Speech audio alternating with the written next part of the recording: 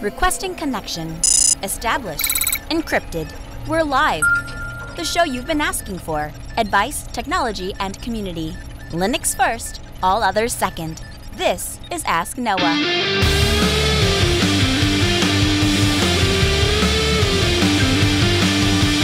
Live from Altispeed Technologies, the Ask Noah show starts right now. This is the show where we came to do all the things on Linux they said couldn't be done, and, well, we take your questions on how to do the same. The phone lines are open this hour to be a part of the program. It is a free call 1 855 450 NOAH. That's 1 855 450 6624, or send an email to live at AskNoahShow. Thanks. My name is Noah Chelliah. I'm your host, delighted to be here with you as another episode of the Ask Noah Show kicks off. See, that's what happens. I take off for I take off for one week unexpectedly, albeit, and I forget how to push all the buttons. So, good thing I have people surrounding me that catch it. Hey, you know, to, this week is an exciting week for those of us that uh, exist on the Linux platform. Guess guess who's bringing their software to Linux? Well, that'd be Microsoft. Microsoft announced this week, well, today actually, that Edge is going to come to Linux. Now, we'll have a link for you in the show notes, and you'll be able to hear the presentation in all of its glory. But I want to play the relevant parts for you because my gosh, if this isn't interesting, I want you to pay attention to a couple of things here. Microsoft is trying to position themselves to be more relevant. And so if you wake up in Microsoft's shoes and your boss tasks you with going into the technical community and coming back with something that can help Microsoft focus their direction on something that makes them more relevant to the technical community, what would you look at? Would uh, the, one of the things that confuses me about this entire decision, and don't get me wrong, I think this is great. I'm glad that we have one more piece of software on Linux. I'm glad that there are going to be some more options for us in the business workplace, and I'll get to that in just a moment. But I want you to pay attention. Any of you who have used Windows 10 and tried to open an alternative browser, you'll notice two things. First, the first thing that Microsoft does is when you open Edge, it gives you this message about Edge is faster and look at how much faster Edge is. And you would want to use Edge. Don't use Chromium. Don't use Chrome. Don't use Firefox. Use Edge. And the second thing that does is it makes it just unbearably difficult to change the default browser. You can't even do it inside the browser. You have to go into some cockamamie control panel and, and change some setting in there. And so as I was listening to this presentation today, I found it remarkably interesting that they first acknowledge that Internet Explorer and Edge is the laughing stock of the web browser neighborhood, and by their own graph, Opera, Chrome, and three other browsers, I, I assume Vivaldi, I don't even recognize the um, the icons, have a higher score with HTML5 doc, uh, HTML5test.com than Microsoft's own browser. So they acknowledge that there has been a problem for a long time, despite the fact that they advertise the exact opposite in Windows 10. Now listen to this.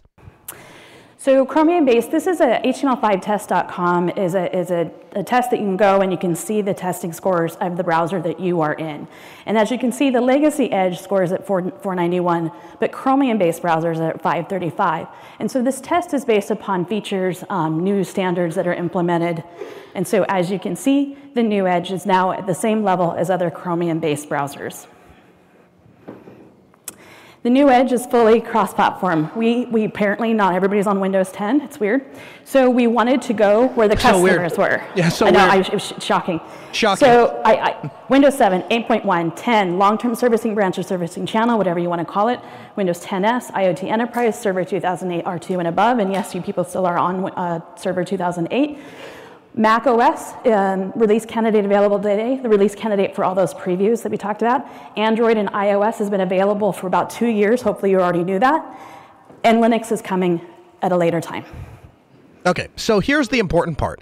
The important part is that they are going to release this software for Linux, and that is a benefit to us. As much as we like to poke fun at Microsoft, that is a benefit to us. But what's frustrating is, again, like I say, every time I've had the unfortunate experience of using Windows 10, which I, I don't understand why they intentionally disconnect themselves from their customer base. So they're aware that Windows 10 is a joke and people aren't willing to use it and they had to essentially force people to upgrade to begin with.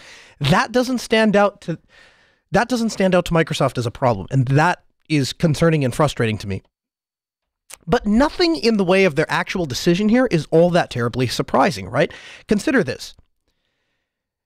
The porting Chrome or porting Edge to Linux now that it is based on the Chrome engine is a fairly straightforward task.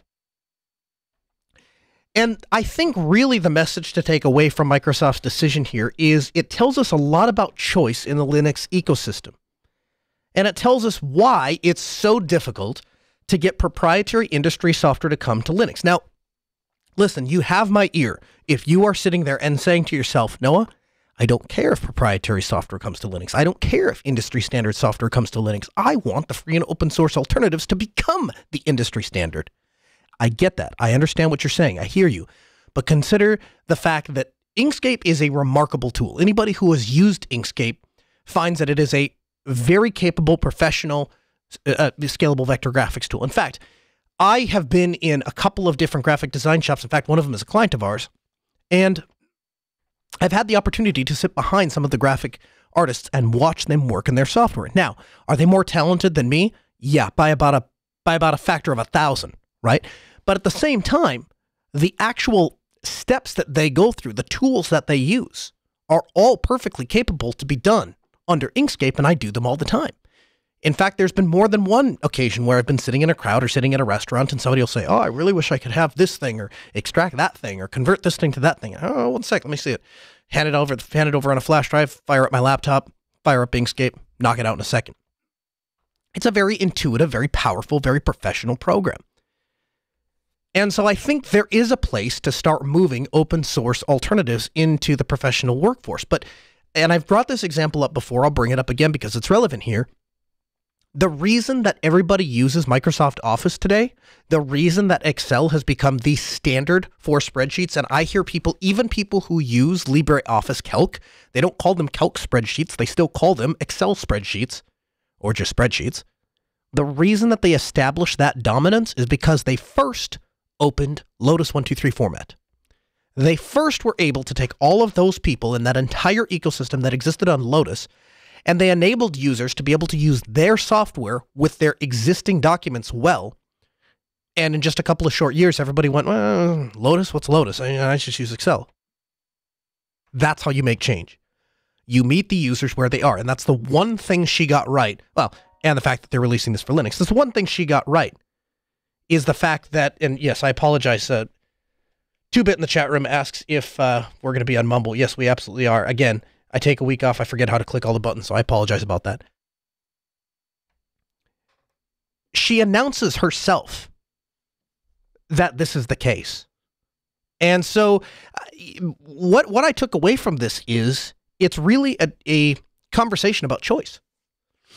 I'm a pragmatist. First, we have to be welcoming and provide a soft landing spot for companies and software developers to bring their existing models, models that they're comfortable with, models that they understand, models that they know how to license, models that they know how to sell, models that their board is comfortable with, models that their support infrastructure is. Com- we have to support that first.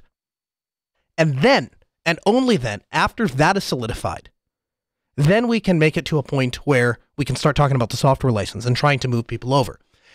It did not take all but three minutes for this news to break on Reddit before the comments started coming in. Uh, nobody's going to use it anyway unless it's open source. Well, they're not going to release it from my distribution. Well, it's not going to be packaged this way. The survey that Microsoft sent out asked five questions. I'm dropping one because it's not relevant to my top my point, but the other four perfectly exemplify what I'm talking about here. This is a discussion about choice. And I've said it before, and I become more and more confident of this every single time we revisit this. I think there's too much choice on Linux. I think that I can defend that position fairly well. We have too much choice on Linux, and at the end of the day, we have gotten to a point where it's beginning to hurt us rather than help us. It helps those who have niche interests, it helps those who have niche choices, and that's great. But for mainstream people, people that just want to take a laptop, they want to open it up, they want to load an operating system, they want to run their software on it, it hurts those people. And I will explain to you why. The first question that Microsoft asked is what distribution of Linux is most important for you for web development? And of course, of course, there is no great answer to that. There is no universal answer to what people who develop on Linux are going to choose as a distribution. Because even, first of all, you're going to get the people that some are going to say Arch, some are going to say Fedora, some are going to say Debian. And even if you can narrow it down to Ubuntu variants, you're still going to have a fracture when it relates to KDE or Xmonad or GNOME. You even still have some people that are hooked on Unity, right? There is so much choice, and we become so adamant in our technical ability to defend our technical choice of desktop, of distribution, of, of, of packages. We're so sure of that, and we're so confident that our way is the better way that it becomes a sport to debate the merits of Arch versus Ubuntu, of Fedora versus Debian, right? We talk about that for fun. We go out to Linux conferences and we go out for dinner, and it's fun to talk about what the different distribution choices are. Can you imagine how frustrating that is to a multi billion dollar company who is sitting there trying to figure out how they're going to provide a product to an end user? And Linux is kind of this clump that they want to be in because that's where the developers are. And at the same time, they can't they can't approach them because it's so fractured. And no matter what decision they make, somebody is ready at the bit to complain about it. Somebody is ready to scold them for not doing it right. We are accustomed to a thousand different choices, six ways to Sunday. And when we don't get it, we complain up and down. Like I said, go over to r slash Linux, go look at the announcement, and then go look at the comments. It's, it, I mean, you're literally three comments in, and all of a sudden you, it starts, right? Nobody's going to use that. They didn't license it right. They didn't package it right. Second question What scenarios do you primarily use web browsers for Linux? Let me give you the translation here. Here's what Microsoft's asking Are you actually going to switch to Edge if we bother to port it over to Linux, or are you all just going to use Chrome or Firefox anyway? Because that's what you're using now. And Microsoft is not so dumb as to think that there are people out there that are sitting around at their desk or waking up at night going, man, geez, I got access to Chrome and Firefox, but if only I had access to Edge. What a great browsing experience that would be. Five times faster than Chrome, it said. Five times fast. Wish I had wish I had Edge on Linux. Man, I wish that was available to me. Nobody's saying that. People on Windows don't even use Edge unless they have to. And so Microsoft is asking, would you even use it? To which I think the answer, resoundingly for the vast majority of us, is going to be no. I don't even use Chrome unless I absolutely have to because I'm so sick and tired of the privacy um, invasions that occur right? And Firefox just keeps going ahead and ahead and ahead with all sorts of different features to to enhance your privacy. So no, I'm not going to switch to to Edge. However, and there is an upside to this, and I'll get to that in a moment. But again, Microsoft is asking people, is this even worth our time? And apparently they decided it must have been, or they decided it's just such a trivial amount of work, they may as well try it. They ask if you used multiple distributions for different scenarios versus, you know, web development versus personal work, uh, et cetera, et cetera. Please specify which ones are important into which it's scenarios, which I thought was a, I thought that was a good question because, for example, we standardize on Ubuntu, well, Ubuntu standard LTS for Altispeed technology. So if you work here, that's what your work laptop will come with. And of course, you're welcome to load whatever Linux operating system you'd like to on it. Of course, you become responsible then for maintaining it, but that's kind of our quote unquote standard issue deployment, right? And there are plenty of people that work here that have a different distribution because they prefer it. And so they I do one of two things. Either they just take on the responsibility of maintaining their personal distribution for work purposes, or a lot of them what they do is they just dual boot the laptop. And they have a one Linux partition for their personal stuff and an Ubuntu partition for work. So I thought it was a, a well thought out question. However, back to the first one, right? There's no good answer to that. There's no good answer to what distribution should you expect to have to support because the answer you're going to get undoubtedly is going to be all of them. And if you don't support all of them, half the community is going to be upset with you because they didn't support their chosen flavor. And they will be first to tell you uh, why their chosen flavor is absolutely right and why everybody else who uses any other desktop distribution or any other desktop environment is wrong. How do you expect to install web browsers on your Linux devices? Man, if this is an appointed question and really underscores some of the problems we have in Linux, I don't know what is. Pay attention to this. Consider consider what is involved for Edge, which is based on Chrome now, to be ported over to Linux. It's trivial at this point, right? They stripped out some of the Google Googleistic features and left, uh, you know, the, the the Chrome engine and then kind of branded it themselves. So we're not talking about anything crazy here. And yet they are concerned over what it's going to take to get people to move over. And I think that tells us a lot about them being worried about packaging and releasing because just like people will give you six different answers as to why you chose the wrong distribution, people are going to give you six to 10 different answers as to why you packaged it wrong. I wanted it in a snap package. I wanted it in an app image. I just wanted the deb. I wanted the source code. I wanted an RPM. You, there's no good answer to that question. And until we start addressing some of these things, from the Linux community's perspective, we are going to have a very difficult time approaching companies the size of Microsoft to bring their products over. And I think it's good on Microsoft to take to, to wade into these waters because they're about to find out firsthand how unappreciative some people can be. And this will give us a real insight as to how serious their commitment to Linux is. As always, your phone calls go to the front of the line, 855 450 No, that's 855 450 6624. Chaz, you're on Ask Noah. Good evening. How did you know that? How did I know what? That it was me calling. Oh, because you've called enough times. I know your number now. Uh, that's scary. That's good. It just means you're a valuable part of the program, Chaz.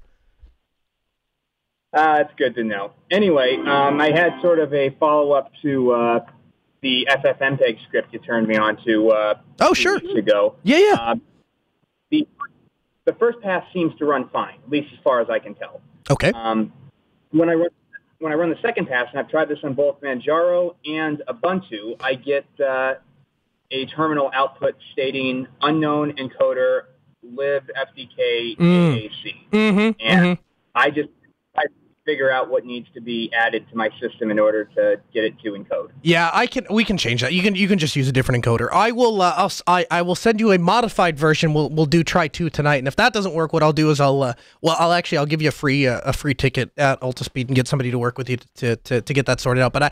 I. I- I think we can just swap out that encoder and that will fix your problem. Sounds good. I'll try it as soon as I get home from work and away from these dirty Windows 10 computers. All right. Well, you have a great rest of your evening. you too. Thanks for calling, Chaz. 855 450 No, it's 855 450 6624. The email live at asknoahshow.com. You too can be a part of the program, add your voice to the conversation. Microsoft is worried about packaging, and they should be. Again, just like we defend our choice for distribution, just like we defend our choice for desktop environment, we defend our choice for packaging. And this is something that I think causes a lot more problems in the Linux ecosystem than most people give it credit for. I remember when Lightworks first came to Linux, I was ecstatic that Lightworks was coming to Linux. I had used Lightworks before, I had tried it. I thought it was a very capable professional editor. At the time, they had promised that they were eventually going to open source it, and so I thought we're finally going to have a pro grade video editing system, open source, uh, top to bottom, that runs on Linux. It was pretty much the best news, the biggest news I personally had seen on Linux in probably 10 years. And that dream didn't really ever live up, right? Because eventually EditShare backed off on their word to, to open source it. And so it's still great editing software. It's just great editing software that I'm locked in to a proprietary company. So I'm I'm always kind of have half my eye on something else. I'm not fully committed to it, but it's great software. It does a really good professional job. And I remember when they first made that announcement, and I went on the forums and I had signed up for an account and I was browsing around there and I wanted to get an idea of if there were other people that were as excited as I was that we were going to have a professional video editor on Linux. And I was shocked that every post was not excitement, was not gratitude, was not uh, you know elation of hey, finally we have this tool that we've needed for so long. It's oh, if they don't release it for Fedora, I'm not using it. I'm like, what are you talking about? I use Fedora as my primary operating system, and I'm perfectly willing to hack the deb together to get it to run on Fedora. I'm perfectly willing to do that. The fact that they're releasing the software at all is massive. In fact, if I have to dual boot my computer to Ubuntu and Fedora, even that's acceptable because hey, we have professional grade video editing video editing on Linux. And nobody cared. Nobody cared. People were so upset with EditShare because they didn't license it right, and they had activation, and they had a subscription model, and like you name it, and their entire company model was picked apart top to bottom just because they offered to port their software to Linux. It was embarrassing. It was embarrassing to be a Linux user. And as I watch this conversation unfold on Reddit about Microsoft Edge, I can't help but think the same thing. It becomes embarrassing that we don't get it. And I, I just, I want to do my part. Listen, if you're a person that uses open source software top to bottom, it becomes trivial, again, to use it on various different desktop environments and use it in various different distributions because there's always one other person that's also passionate about FOSS and they will port that software as long as they have access to the source code to whatever distribution you want to use. Some some other Fedora user out there is porting the software that was originally written for Ubuntu to Fedora. Some Arch guy, but long before the Fedora guy probably even released the RPM, probably had that source code uploaded into the AUR. Let's just be honest, right? It, the second an idea is born, it practically goes into the AUR. Sometimes it works and sometimes it doesn't, but it's there. There's always somebody passionate to do that. That becomes not just difficult, almost impossible when it comes to proprietary software. And you can take the hard line in the sand and say, listen, I'm just not using proprietary software. Fine. But just understand that the vast majority of large companies manufacture proprietary software, and the vast majority of the world, although this is changing, runs on proprietary software. Few things here. I think that Microsoft is mostly interested in developers, and you can tell that based on the way that they've worded these questions, right? Which distro would you use for web development? They know that web devs are often on Linux and they want them to use Edge. Now, to be honest with you, I'm not sure if this is an effective strategy or not.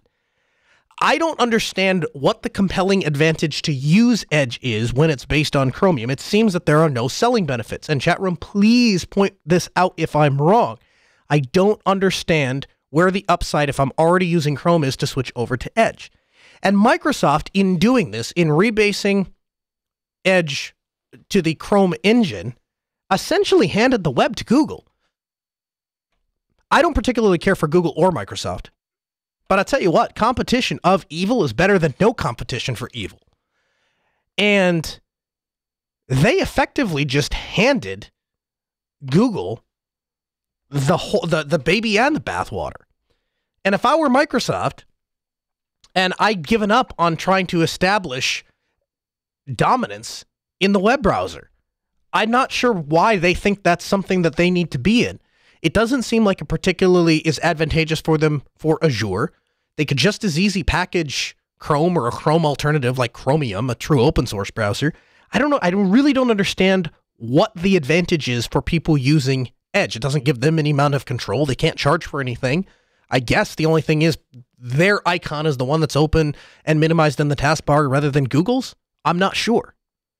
But they still, for the time being, have a dominance on the desktop operating system, and it seems like they are not paying attention to it. We'll get to that in a moment, but as always, your calls go to the front of the line, 855 450 NOAH. You are, oops, I got to click the button. Man, I really am out of uh, out of the swing of things. You're on Ask Noah. Good evening.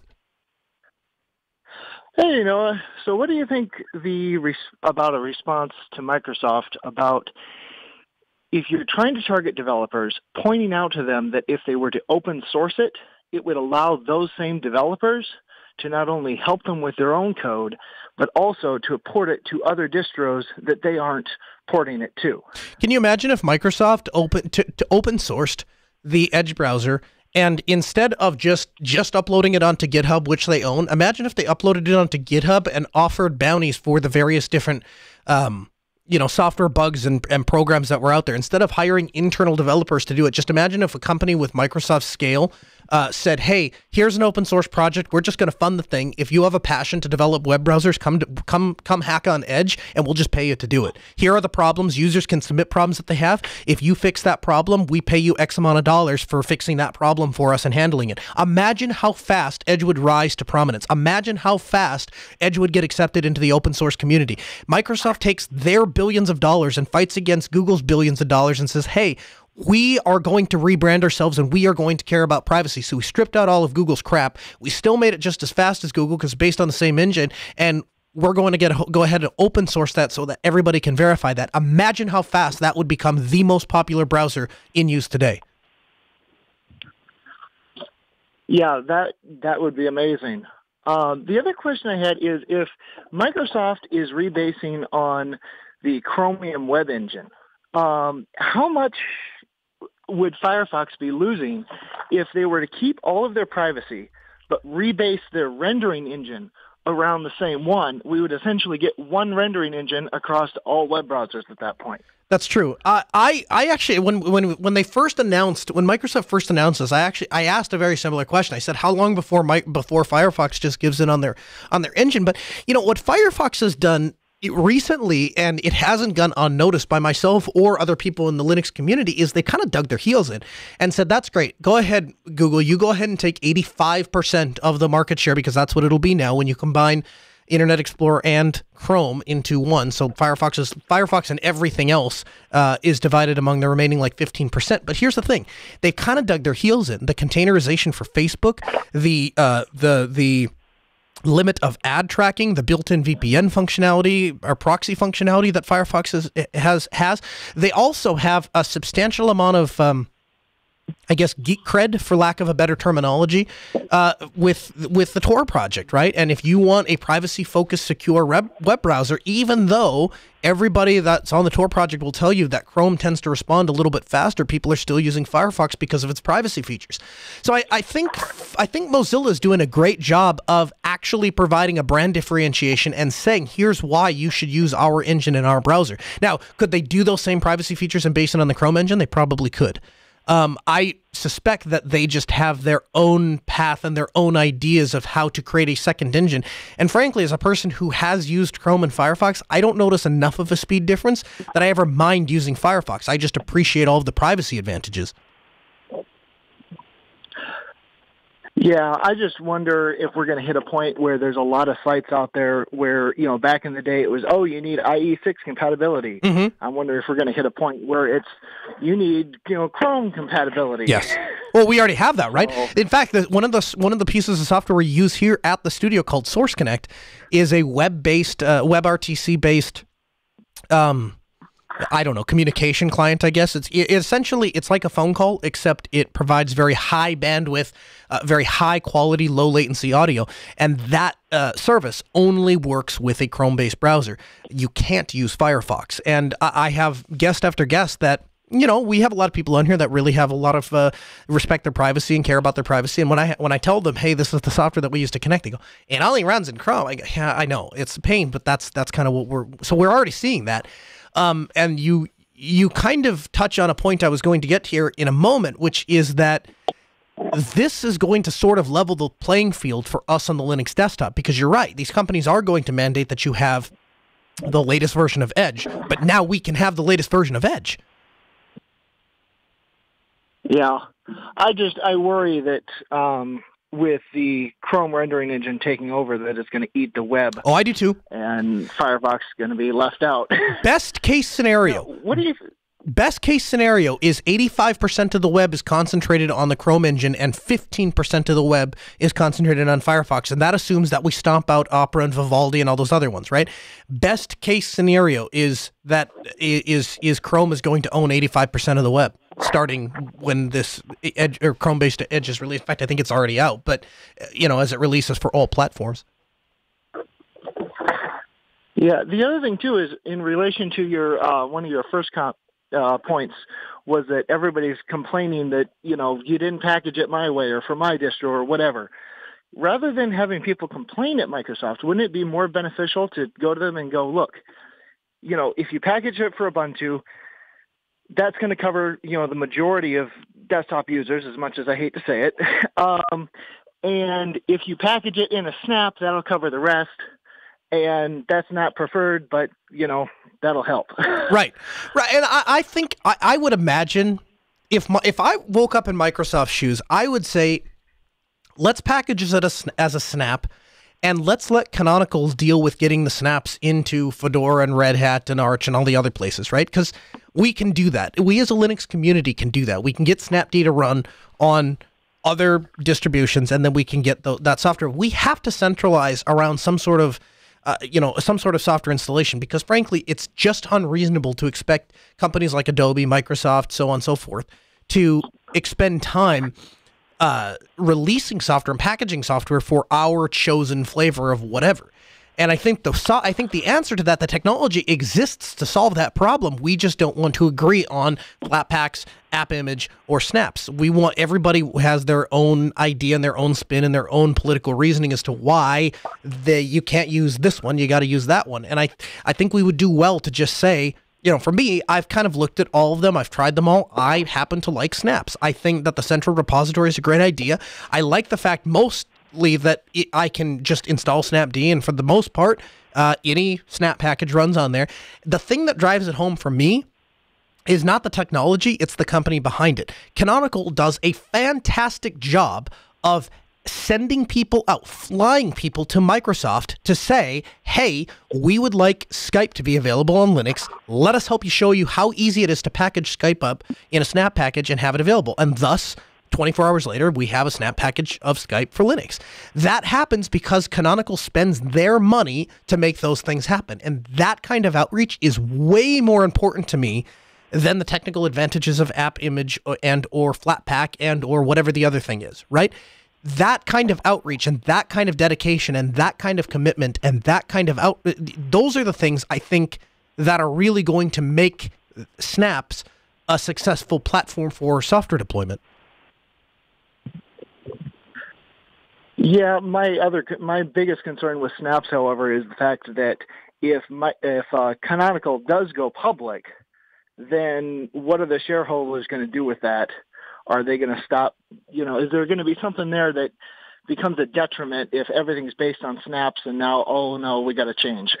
Yeah the, the the danger there is not necessarily with the snap packages themselves. The danger is with the snap store.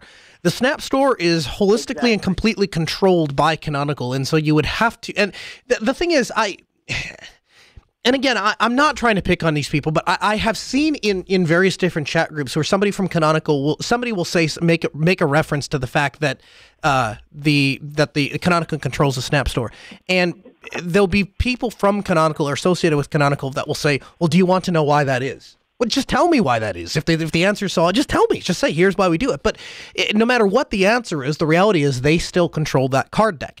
And so we would have to spin up a, you know, a Snap store essentially from scratch if that were to happen. But if you know what, if we could get everybody on the same packaging system, I'm willing to deal with that problem down the road. I'm willing to deal with the fact that the place that we download the snaps from might have to change or might need some work. We can figure that part out. Let's just get everybody on the same thing to begin with. Yeah, well, I just hope it goes well. Now, you had mentioned them, uh, Microsoft ripping the uh, tracking and privacy invasion out of the Chromium br- uh, browser to base it rebase on uh, for Edge. Yeah, no promises they're not going to put their own in there. Back, I was just going to say, with Microsoft loving all their telemetry and all of that, do you think that they're going to load their own in or is, that yet to be seen? I, I haven't seen anything that indicates one way or the other. Windows 10 has enough telemetry that if I were a betting man, I would tell you that they probably have all of the information they need from the underlying operating system themselves. And the fact that they own 80 plus percent of the desktop operating system means there's not a lot of it, there's not a lot of benefit to them adding telemetry back into the browser itself, but I wouldn't necessarily put it past them. Either way, either way, no matter what they do, they are differentiating themselves or trying to make it, you know, let's take worst case scenario. Let's say Microsoft reintroduces their own telemetry into Edge. At least we're still at a point where Google has some of the information and Microsoft ha- Soft has some of the information, and one company doesn't have all of it. It's not much of a win, but it is a win. Yeah. If I were to guess, I would say Microsoft will probably leave that out and because it's not you know they they'll collect the information from Windows 10 and they'll leave the Mac OS users and Linux users and the you know whatever that slide had the other 17 umpteen million operating systems that they're going to try and support with Edge they'll leave all those out. Yeah, my biggest concern is that they're going to do what they did when Windows 10 first came out and they were uh, when Windows 10 first came out, they did not have a whole lot of telemetry and tracking and everything else. And then I forget exactly, but a few months later, they swapped out the EULA out from under and pushed the, all the telemetry in. Oh yeah. So it, and it, let me tell you, ripping do something like that. It, ripping that stuff out, man, is a royal pain in the tuckus. I mean, it really. Actually, Kabavik in the chat room says our IT department has a ridiculously difficult time turning off all of the Windows 10 telemetry. I mean, it's it's literally short of spyware, is what it is. Um, and that's super frustrating. And and that's one reason why when Microsoft says, "Oh, you know, we heart Linux and we heart privacy," I go, "Well, then give me one big button that I can smash that turns off all the telemetry." Yeah, yeah, no, no, I you're absolutely good.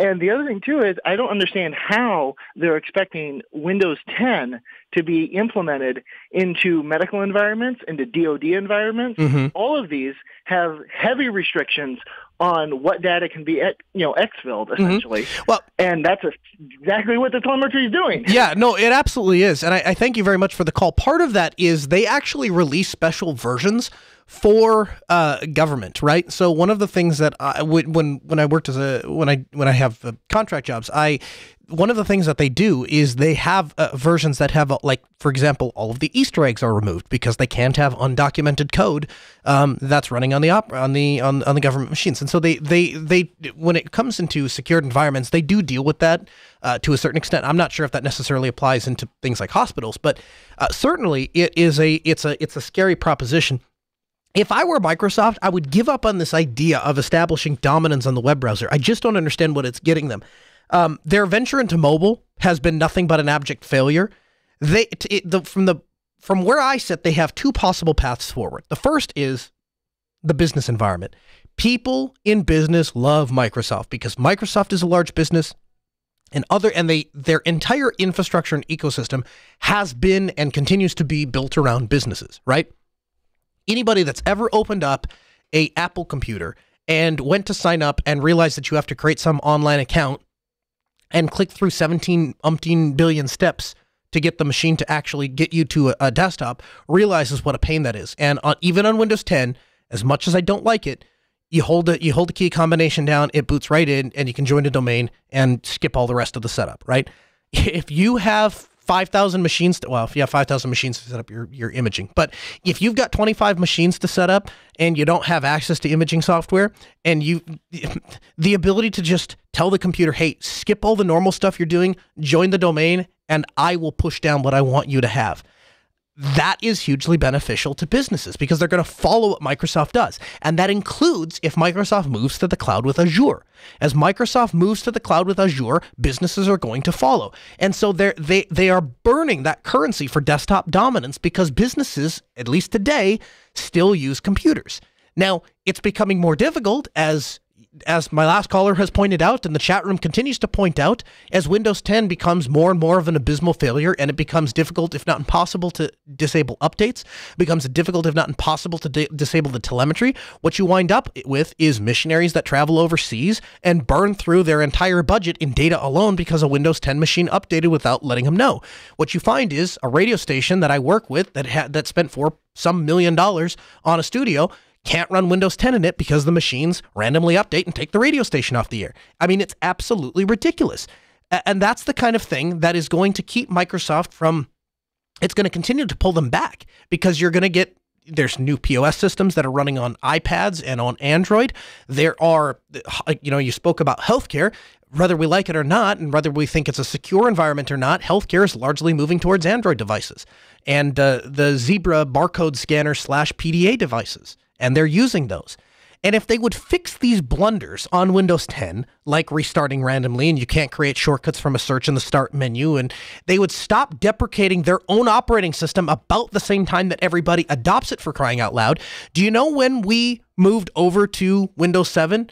About the time that everybody was finally settled on XP. And do you know when we're going to because Vista was a joke. Do you know when we're going to when people are there's going to be a big push to move people over to Windows 10? Beginning of next year when they're going to EOL Windows 7, about the time that everybody has settled on Windows 7. So they lay the ground, they get everybody on the ground, then they rip the cart out from under them, and then they wonder why they are having a difficult time sustaining a customer base. Stop deprecating your own OS about the time everybody gets on it. Their only interest in a browser is com- companies typically are moving away from OS requirements and they are moving more towards software requirements. And I have seen this just in the last five years. I rarely see these days a Pentium, you know, well, Pentium, uh, Intel Core 5, i5. That's how long it's been though since I've seen a processor recommendation, right? Intel i5 required with uh, Microsoft Windows or compatible software, blah blah blah. You don't see that anymore, right? Now you see If it's a really old version, or if it's running some sort of ancient plugin ActiveX crap, it you will say something like requires IE8 and or they'll say something like edge. Now when you work in larger businesses or large corporations they actually have agreements with microsoft to continue to update and provide these ridiculously old versions of things like ie8 for example.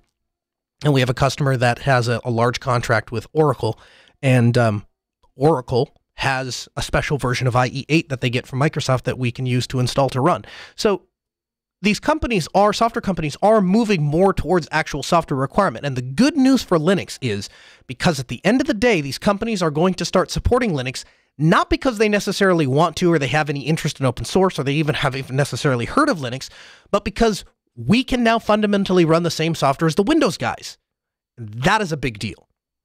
And there is absolutely going to be a time where we are going to see the year of the Linux desktop. It's just not going to come about the same way that we had imagined. We're going to be an operating system agnostic society. And frankly, to not to mix words here, but people are too stupid to use computers. All the vast majority of people you run into in your day-to-day life are too dumb to use a regular computer and they need everything dumbed down for them and that's why phones and tablets have become so popular. Partly because they can just go everywhere, partly because they're fashionable and they're marketed such, but most users are too lazy or too dumb to figure out how to actually download and install software. In fact, so much so that in 2019, I can't count the number of times that I hear downloading and installing software referred to as side loading. Side loading, as if it's some sort of magical incantation spell that you do to, to sneak software onto a device you paid for. It's ridiculous half the people, actually probably more than that, like 90% of people out there, and I just made that statistic up, are running around with devices that they don't have administrative access to. It's absolutely mind boggling to me. So I don't know what Microsoft's motivation is in all of this. I don't know what they hope to get out of it. I really strongly doubt the developer force is going to all of a sudden flock over to Microsoft Edge simply because it's released for Linux. However, I'll tell you this two things are, are very clear to me. First, I really do believe that this brings us one step closer to the Linux desktop because now all of these services, which are more and more basing themselves on web-based services, they they typically divide into Internet Explorer and Chrome. I've yet to see a soft uh, a site that only supports WebKit. You know, only runs on Safari. I've yet to see a site that only runs in Firefox. But I see plenty of sites that only run in Chrome, and I see plenty of sites that only run in Internet Explorer and or Edge. And any of the Internet Explorer sites are eventually going to get moved to Edge, and now we have Edge on Linux.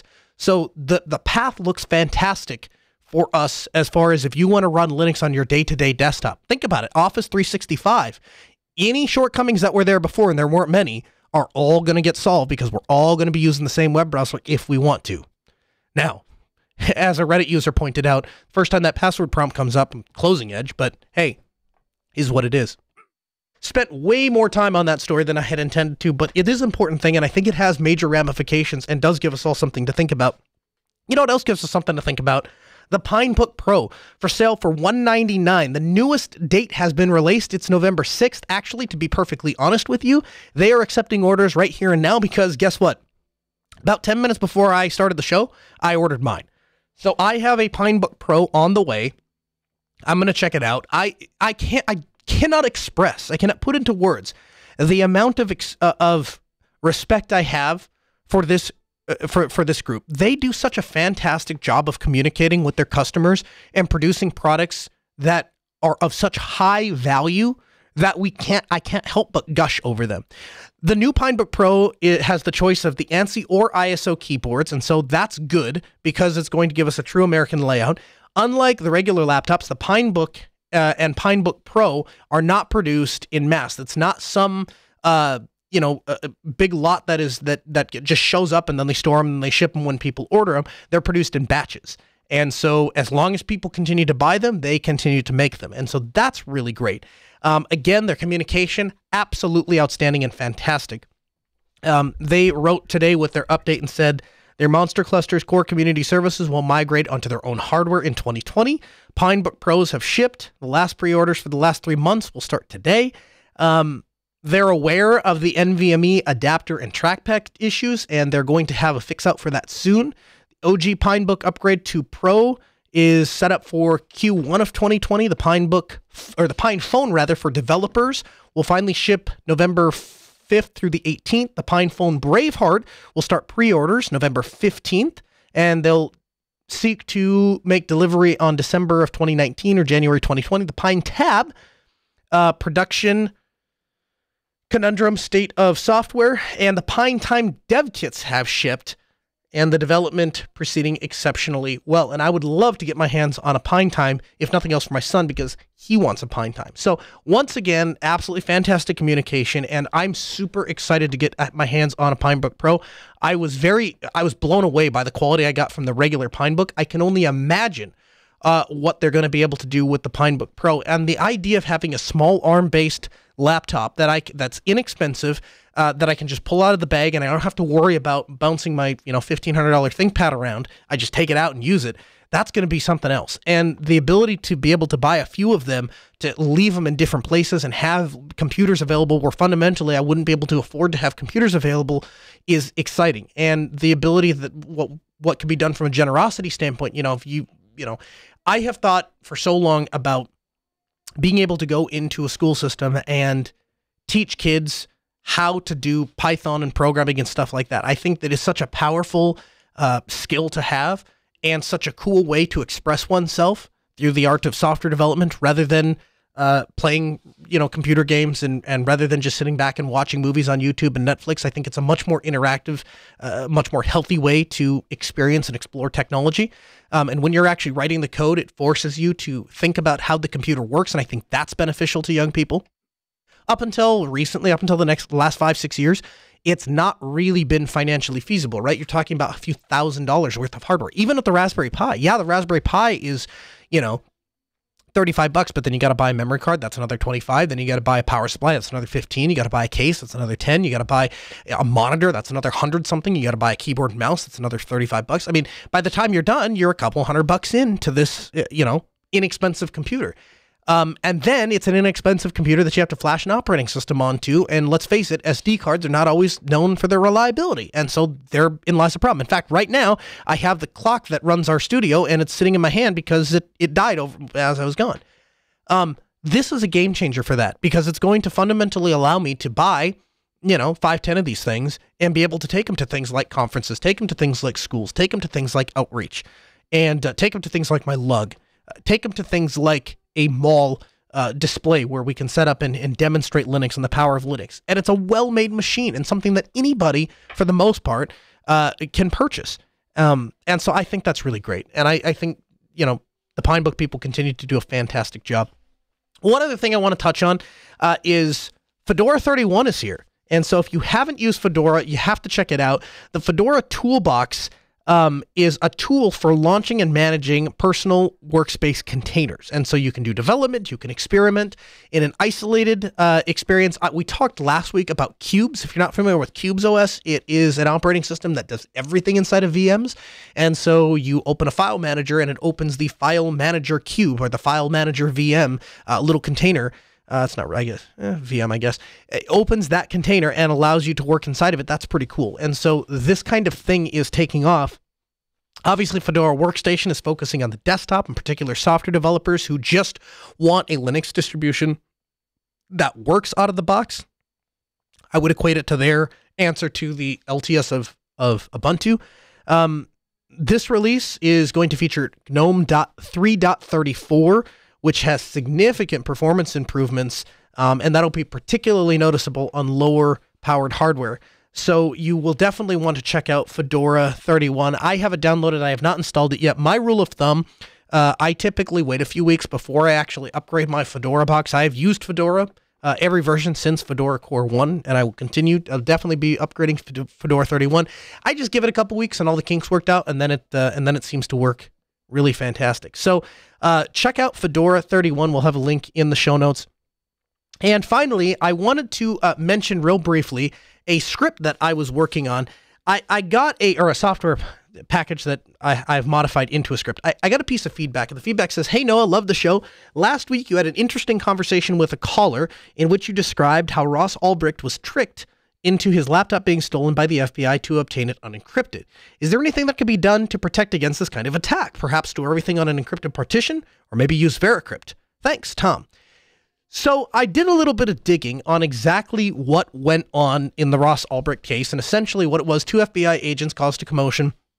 A one of the FBI agents was seated across the table, and as he looked up to see what the commotion was, they simply slid the laptop away from him, and another FBI agent grabbed him from behind, and then he was unable to shut the lid, and they were able to access all of his stuff and retrieve his passwords out of the memory.